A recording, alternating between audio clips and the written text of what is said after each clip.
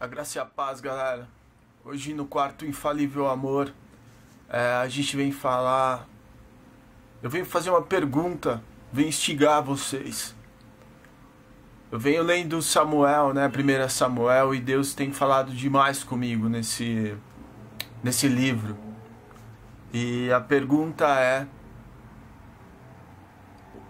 que tem sido o seu Golias? Qual tem, qual é o Golias que, que você tem que derrotar na sua vida?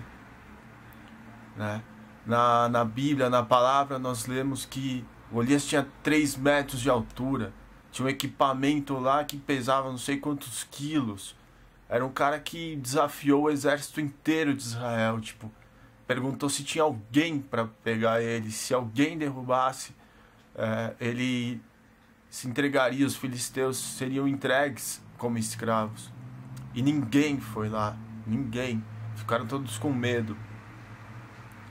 Mas Davi, Davi era um cara normal, assim. Ele cuidava de ovelhas. Ele nunca tinha guerreado com ninguém. Ele apenas matava um leão e um urso por dia, assim como a gente faz na nossa vida. Mas às vezes a gente fica com medo. Às vezes a gente fica cheio de de medos da, do cotidiano, das coisas da vida. Às vezes o Golias para você é falar em público. Às vezes o Golias para você, o Golias para você é ter medo de se comprometer com as coisas. Às vezes o Golias para você é o álcool, é, são as drogas. Às vezes o Golias para você é a mulher, é, uma, é o homem, né? É a carne, é o desejo da carne. E aqui eu venho instigá-los a. Por que não derrubar Golias? Por que não ser como Davi? Por que não enfrentar os nossos problemas de frente? Na palavra, na Bíblia, é, quando Davi enfrentou Golias, ele disse que essa briga não era dele, não era dele contra Golias, era de Deus.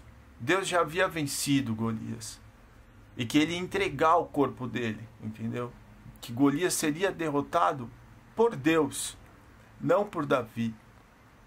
O que Davi fez foi só ser um instrumento de Deus. Então eu venho aqui instigar você a entregar os seus medos, entregar as suas vontades, os seus anseios, entregar o seu Golias na mão de Deus. Enfrenta os seus problemas, vá de encontro a eles bata de frente e supere. Superar é uma sensação maravilhosa para gente sentir. E Deus nos dá essa oportunidade. Deus se alegra quando nós superamos as nossas barreiras. Então aqui fica para a gente pensar: qual é o Golias que está derrubando você?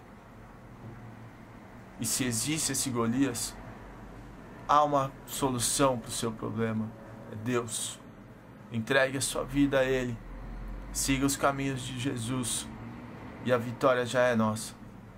Que Deus nos abençoe. Até a próxima.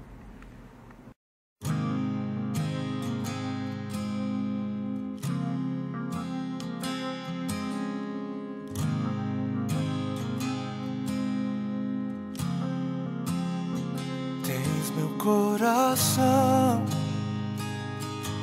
eu sou teu para sempre.